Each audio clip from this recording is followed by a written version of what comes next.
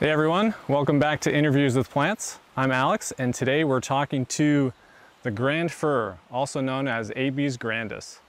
So this is a coniferous tree. It can grow up to 80 meters tall on the coast, a little bit shorter in the interior.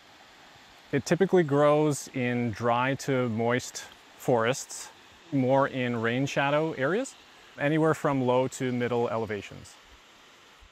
So let's take a closer look at the bark.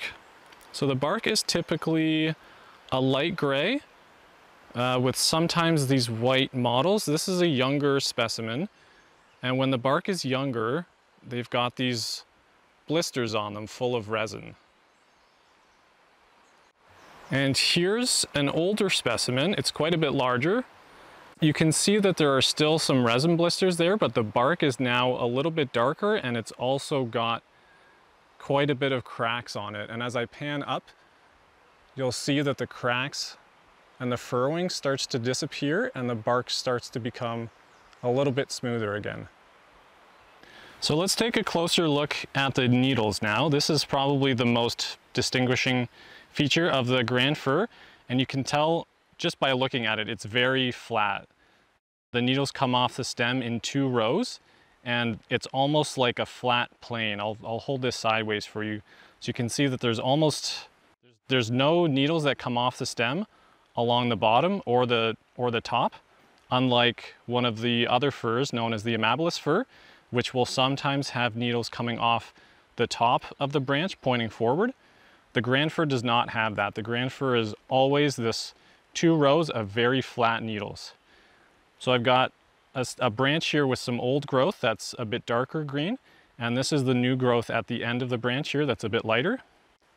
And each of the needles are very deeply grooved with a notch at the end. It looks like a little M. And the underside have two white rows of stomata. Those are those two very bright white rows on the underside. So I've got an example of a cone remnant here. The grand fir is what's known as a true fir, so the cones are upright on the stem. So if you see the cones in the tree, they'll be growing upright off of the stem like this.